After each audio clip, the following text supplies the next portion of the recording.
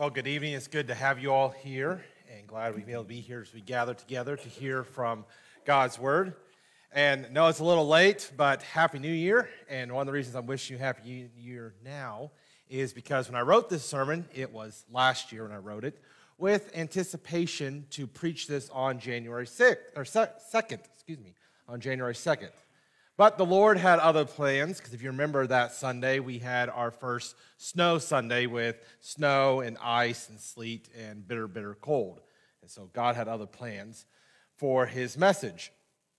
But that's what's great about God's word is the message that he meant for that time and then of course put upon my heart is still relevant today as his word is always relevant for us today even though it was written many many many years ago it's still changing hearts applying to our lives now and convicting sinners of their sins and helping us grow. And that's the great thing. So, no matter when you hear a sermon, whether it's a sermon that was written several hundred years ago or maybe just last week, it's still just as powerful as it was then as it is now.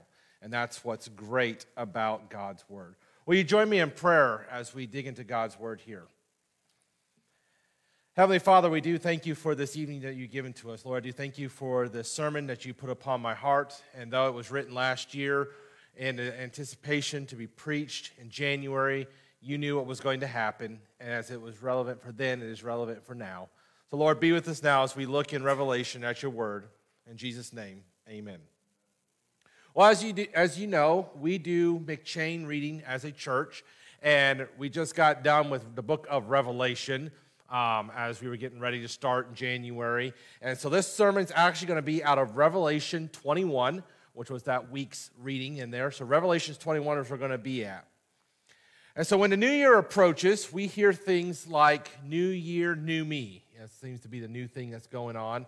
Um, and many people make New Year's resolution. And if you've made one, that is okay. There's nothing wrong with that. Um, I've made some, and some of my favorite in college was I made a resolution not to make any resolutions, which is a resolution. So it kind of defeats the purpose of that.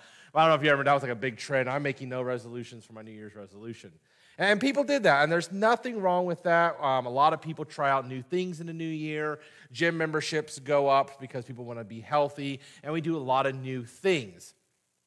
And a lot of people are yearning for new things, not just during the new year, but as, as New Year approaches, we always anticipate and say, oh man, here comes the new year. I hope this is better than last year. I can't wait for the new year. This is going to be my year. And we always look for that new thing. But could that be because we as Christians and also as human beings know that this world is not as it should be and we're waiting for the new earth and the new heaven and the new creation to come. We, we sit in anticipation. The early church sat in anticipation when Jesus promised to come back. The churches, when John wrote these letters to them and talked about the new heaven, new earth, had that anticipation. If you remember, the disciples, after Jesus was showing how great he was, and then after his resurrection, they said, When are you going to deliver us from the Roman Empire and create the new Jerusalem, the new state? They couldn't wait for it either.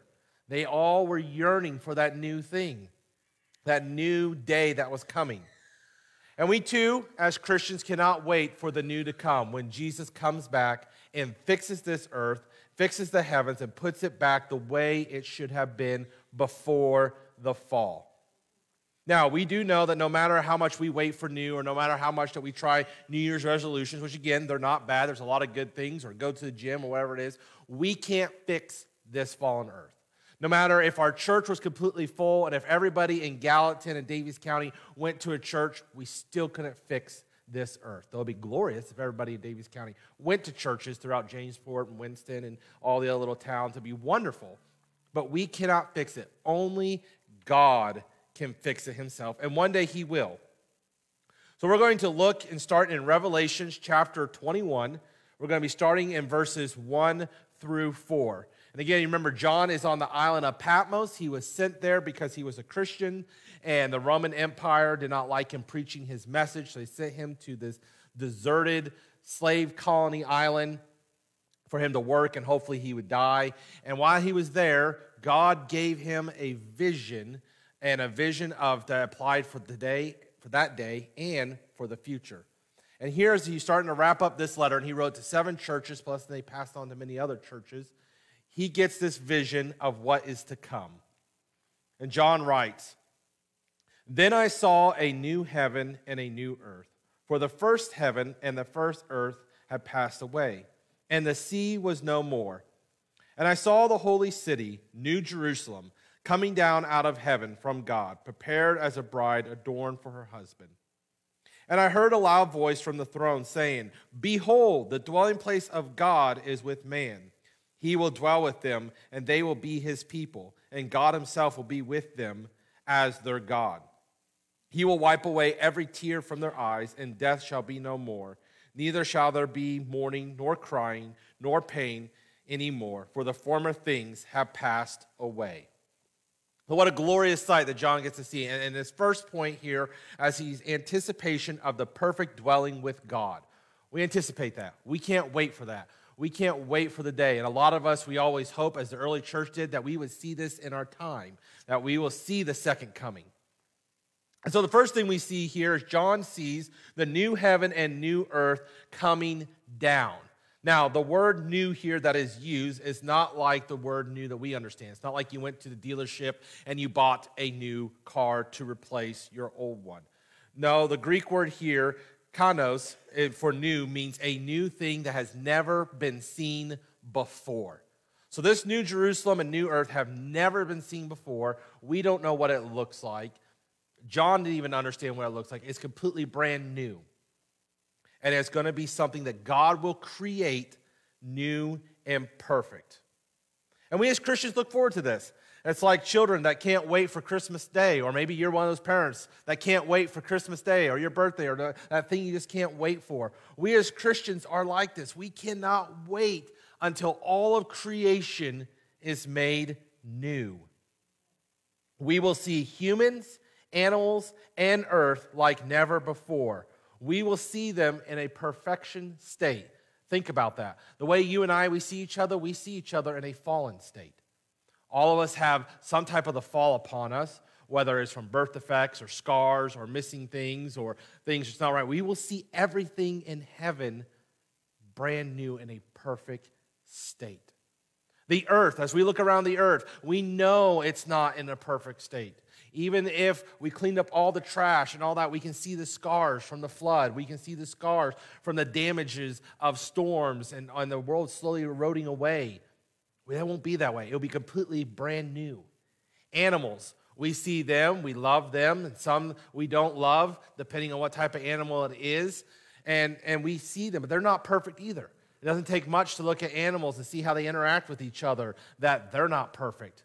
Again, we will see them all in that perfect being.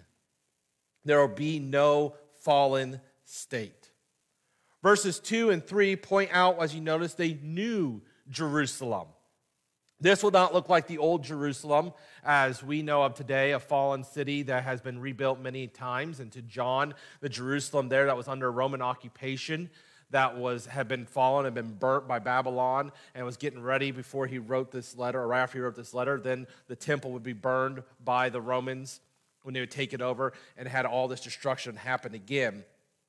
This is even new to him. That's why he calls it the new Jerusalem. And it is something that we have not seen. It will be totally different. It will be the capital of God. This is where God will dwell and where we will dwell in it and be its citizens. This will be our city. Which also means, since it's new, there will probably be no distinctions of borders. So it'll be like no Middle East and North America and all that. Notice, it says there's no sea. So all the, all the continents are back together, and it's a different location. We don't know how it's going to look. Um, it has been stated before by scholars have studied it that the earth has been recreated because of how it has been in fallen state. Plus, to take the New Jerusalem the way that's been measured out in the Bible would be wouldn't be able to fit in our planet today the way it talks about in Revelation, the rest of Revelation here is a city. This is a new city, it's a huge city. We all get to be there. And what's great is God is dwelling with man and we are dwelling with him. There's no more void. Like right now, we have a void between us and God, we have to go through our mediator, Jesus Christ, to have a relationship with God. But we don't have God with us here on this earth in a sense that we can't see him, touch him, hear him. That will all change in the New Jerusalem. We will see God we will be able to go and approach God and talk with Him. We will hear his voice. We will be able to worship him, and there he'll be at. We don't have that today. There is a void between man and God right now because of the fallen state, but that will disappear. And it will finally be as it was supposed to be from the beginning. If you remember back in the Garden of Eden, man and God walked together. You remember Adam and Eve hid because they heard God walking in the garden. There was that doesn't mean that God had legs, was actually taking steps, but they knew God's presence was there in the garden. They said, Well, we can't be here with him. We're sinners. We got to go hide now. They understood fully what was going on, but they had to go hide. That void that happened when both man and woman ate the forbidden fruit, they caused that separation. And even though Jesus was here on this earth, if you remember when he entered his glorification state on the transfiguration, what happened? The disciples fell down. They couldn't stand before him. They couldn't stand before that God because he was so glorious. Their eyes couldn't behold it. But now we have a time when it will come, or it's going to come, when we will be able to be with God. We'll still worship Him. We will understand that we are His creation. He is our God. We can be with Him. And he goes on, talks about the new earth. And it's very hard to tell what all this is going to look like with the new earth, new city, because there's not much detail God gives to John. He doesn't give much detail. Many people have tried to speculate and write books and try to understand. And the thing is, we don't know, except it's going to be perfect, without sin we will finally see the full healing power of Jesus. We'll finally see the full power that Jesus did when he defeated sin on the cross. So we know that power by us being saved, but we still see sin today. We still see it in the news. We still see it in our communities. We still see it just from people getting sick from common colds to people passing away of old age. We still see it here. Even though sin was defeated on the cross and Jesus crushed the serpent's head when he rose from the grave and defeated all of that, we still see the marks of sin around here. But one day, all that is gone. One day, as it talks about here in verses 4, where God will wipe away our tears. No longer needs to be mourning over sin. No longer needs to be mourning of the separation. No longer needs to be mourning of the separation of death. All our pain is gone. A lot of us who struggle with pain due to arthritis or other things when it goes warm, cold, warm, cold, as it seems to be doing here in Missouri, that yo yo effect, it drives us nuts. It hurts us. And some people get pain so bad, we're bedridden. That is gone. Think of the people in the nursing home right now that are affected from pain and sickness, whether it's a physical sickness or a mental sickness. Those that are believers, that sickness will be gone in the new heaven and the new earth here. And we will see that Jesus' full healing power will be in effect over our lives and over the lives of many other believers. He will be our conqueror and our Lord, and all things will be made right by him and through him. And what a glorious day that will be. Which moves us on to our second point Jesus, our Savior and our Creator, in Revelations 21 5 through 8. And it says, And he who was seated on the throne said, Behold, I am making all things new. Also, he said, Write this down, for these words are trustworthy and true. And he said to me, It is done. I am the Alpha and Omega, the beginning and the end. To the thirsty, I will give from the spring of water of life without payment. The one who conquers will have this heritage, and I will be his God, and he will be my son. So here we see Jesus claims the title that we already know. He is the creator. Now, this is not the first time that Jesus creates. We know that he was in the, he was in the beginning with God, creating. We know he was there and that all things were made through him, as Philippians tells us. But again, God and him are working together, and he is creating the new earth and the new heavens. He is being a part of the creation.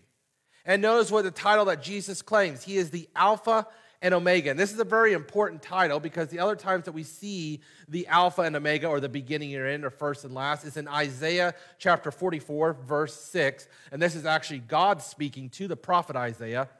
Thus says the Lord, the King of Israel and his Redeemer, the Lord of hosts I am the first and I am the last. Besides me, there is no God. And again in Isaiah 48 12, God says, Listen to me, O Jacob and Israel, whom I call. I am he. I am the first and I am the last. So we see here from the Old Testament, and that the people of Israel would understand that God is the beginning and the end. Now, Jesus here claims that same title. He is the beginning and the end. Jesus again is showing the Trinity, showing his deity to John. He is telling John, Look, remember I told you all those times when I was walking the earth that I am God. Remember when Thomas says, Show me the Father? And Jesus says, If you see me, you have seen the Father. Anybody who knows the Father knows me. And I and the Father are one. And he goes on and shows his deity. Well, here again, he has shown it in Revelation. I am God and God is me. We are together. We are one. And also, then you get the separate Trinity, three in one persons. And so he is showing, yeah, Jesus is showing he is equal to God and that he is the full deity of God. This isn't just some angel speaking to John. This isn't some lesser being speaking to John. This is God's Son. This is God speaking to John, saying, I am going to create this. How come he has the power to do it? Jesus tells us also that he's going to give us the living water. Might sound familiar because it's the same water that Jesus promised to the woman at the well in John 4 13 through 14. And then also in John 7 37 to 38, Jesus spoke of the water. This is what Jesus says in John 7 37 through 38. On the last day of the feast, the great day, Jesus stood up and cried out, If anyone is thirsty, let him come to me and drink. Whoever believes in me, as the scripture has said, out of his heart will flow rivers of living water. So Jesus is reiterating this again that he has the living water. He is reminding John, reminding the churches, reminding those that are going to read this letter in the future, us being these people, those that come after us being those, if Jesus does not come back, that he is the living water. So in verse 6, what Jesus is talking about is eternal life. Any of those who drink of his living water will live again. Now, since the book of John is prophecy, and Jesus is prophesying of what is to come, that means salvation has not yet departed. Salvation has not yet stopped. We do know that at some point people will stop getting saved. Jesus will come back, and that will be it. It'll be done. No more salvation. And those that do not know him as Lord and Savior, it'll be a very scary time for them. But we who do will be celebrating. So he's making this promise that if you want to come to him, and it's not mean that we have to go find this living water like a, a going on like the holy quest and all that to find the cup and all that. No, the living water is faith in Jesus. If you notice when the woman at the well and she asked Jesus for this water, he didn't just give her water into a cup. Instead, he told her about salvation. And that is what he's doing. So it gives us hope that those who hear this message, there's still a chance for them to be saved from their sins. But they must put their faith in Jesus. They must believe in Jesus. And then they will drink of the living water. Now he goes on, he says, The one who conquers. That might almost be mean sounding like Jesus is saying there is a work salvation. The one who conquers. Because to us, when we conquer something, usually it takes work, it takes effort. If it's a test, it takes a lot of mental work and studying. If it's working a job, if it's physical, it takes a lot of muscles. If a army conquers someone, they have to fight to take it. So what is Jesus meaning conquering?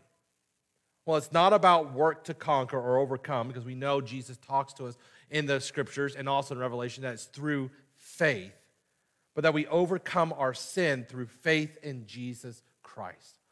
We have overcome death, not by our works, not by anything we've done, but through Christ, we have conquered death. As when Jesus died and rose again, he conquered death. And that's why we do baptism. We show that we're buried with Christ and that we rise again with Christ, that newness of life that is in us. We have conquered death, again, not by our works, but through Christ Jesus' victory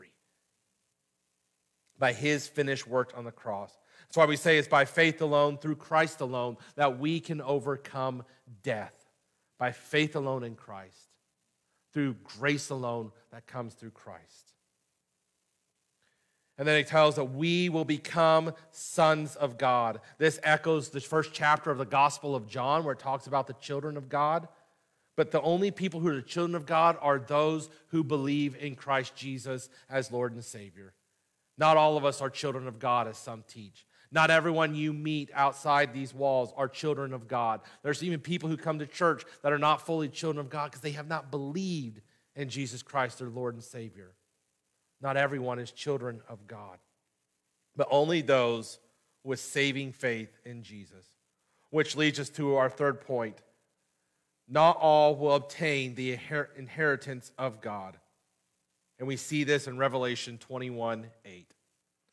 But as for the cowardly, the faithlessness, the detestable, as for the murderers and the sexually immoral, sorcerers, idolaters, and all liars, their portion will be in the lake that burns with fire and sulfur, which is the second death. If you notice back before is in verse 7, Jesus says, Write this down. He told John specifically, Write this down. You might be thinking, why would Jesus ask John to write this sad part down, this happy story? We just got new heaven, new earth, no more tears, no more death, no more sickness. Perfection is given, conquerors through Christ. Excuse me. Why would God ruin anything in a happy story? It's a warning. Jesus knows that there's going to be people reading this, and he doesn't want them to go through life thinking they are okay. It is a warning that not everyone will obtain this inheritance. You see, when John wrote this letter, if you remember, there were some churches, it's like the church in Ephesus, that had left their first love of Laodicea. And, and God says, or Jesus says, I wish that you would be hot or cold. Pick one, but you're lukewarm. You've left your first love. You're following, as he goes on to different churches, you're following after Jezebel's teachings. You notice those seven churches, they had issues that Jesus was calling them back because they were leaving Jesus thinking they were okay. They were leaving the true teachings of the apostles, the true teachings of Paul and John and Peter, leading the teachings of Timothy and say, hey, it's okay to follow the world. And Jesus giving a warning, you're not going to make it if you don't follow after me. And what's sad is we do have to come to realization not all will be in heaven. Not everyone that we have met or going to meet will be in heaven with us. There will be those who are cast into hell who will not partake in the heavenly blessings. And Jesus is making that point. Not all of mankind will be saved. Jesus is showing that salvation is for those who truly believe, and not all will be saved. That's the opposite of what we hear today. There's a lot of teaching out there from many different people that say everyone is going to make it to heaven. Doesn't matter what you believe. It's okay. It doesn't matter whether you're a Christian or a Buddhist or whatever. Everyone's going to make it. Only the really, really bad people is God going to cast into hell. Or there's some that even say God wouldn't cast anybody into hell because he is a loving God and he wouldn't do that. But yet we see here, Jesus says that's not the case. That's not the, the case with God. There are going to be those that get cast into hell because they have not believed, because they have lived a life full of sin, and they will still have that void, that separation from God. Now, one thing to notice that this is the lake of fire, as we know as today is hell. And so it does not mean that those who have passed away without knowing Jesus Christ, their Lord and Savior, are okay. We do know that from the story of the rich young ruler, ruler that they are in Hades in a place of torment. And one day, as you read on in Revelation, you find out that Hades and death give up their dead. They are judged and thrown into the lake of fire. Now, this is for those who do not believe. And this is the second death that will happen to them. This is the second death that is saying the final judgment. It is over. And the sad part about this is those that have suffered and said, Hey, I reject God now, they don't get a second chance. That's why it's so important. That's why it was so important. Jesus said, Warn them, John. Let them know what is coming so that they can have time to repent because that's what's so gracious about Jesus. You can be a terrible person, as we've seen with the thief upon the cross. In his last few minutes of his life, what did he do? He looked to Jesus after he mocked Jesus. Remember, at first in the, Gospels, it tells us that he did mock Jesus. Then he had a heart change. And then he stood up for Jesus. And then he put his faith in Jesus by saying, Remember me when you're in paradise. What a simple plea, but what a saving faith. It's one of the most wonderful pleas that you can find in the gospel. It is not somebody who did this long prayer, not somebody who did all this going to church, doing all this work, but said, Remember me when you're in paradise. And Jesus has promised, Today you shall be with me in paradise. And he understood him. He even told the other thief, We're getting what we deserve. I did bad on this earth. I did something so bad that I have to be crucified. But he is innocent. But it doesn't mean that he did not stop himself from humbling himself before Christ. So, in conclusion, we as Christians should get really excited for the new kingdom, the new heavens and the new earth that is one day coming. That is one day going to come when the trumpet will blast, Christ will come back, set everything right. The dead in Christ will rise again, which is a glorious time, break free from that dead. And if we pass away as believers before Christ come back, it is great to know that, that we're not always, our bodies aren't always going to be held in the ground. That one day we will be made new. One day we will break forth. As Jesus broke forth from the grave, we too will break forth. What a glorious day that way be. But take that joyous news and go tell others. Go tell those that are lost about the new heavens and the new earth that is coming. Because there's still punishment for those that are lost. So, with the new year upon us, we've only been one month into the new year. Use this message to help find hope in the darkness. Tell others about Jesus. Here in a few moments, we are going to pray, and on our supplication, we have prayer for the lost in our community and families. Don't just pray for them tonight, but pray for them daily. Don't just pray for them, but find opportunities to tell them about Jesus. Find opportunities to share with them how Jesus has changed your life. That might be doing something that they're shocked that you do for them because they haven't treated you well, but you said, hey, I'm going to treat you as Christ treated me. Maybe that means you're going to spend some extra time with them because they might be hard to spend some time with, but say, I'm going to spend time with you. Or maybe it just says, hey, I just want you to know I'm, I'm praying for you. And might start up a conversation. And then they can ask, well, why are you praying for me? And you can give out the gospel why you'd pray for them. It doesn't have to be long. It doesn't have to be this drawn out two hour debate. It can be very simple but find time to pray for them. Use this message of the new heavens and the new earth that Jesus said is so important that people be warned about hell that is coming to write it down, John. But don't just focus on that. Focus on what is to come. We as believers, when it gets dark, when it gets sad, when this world begins to crush us due to turmoils, due to trials, remember that this is not the end. This is not the period at the end of the sentence, but the comma the new heavens and the new earth. That's where it ends.